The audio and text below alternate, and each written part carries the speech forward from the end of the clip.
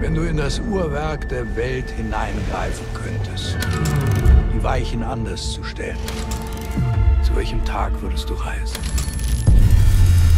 Wenn es das ist, was ich denke, dann wird es unser Verständnis von der Welt grundlegend verändern. Die Zeit ist immer mit dir.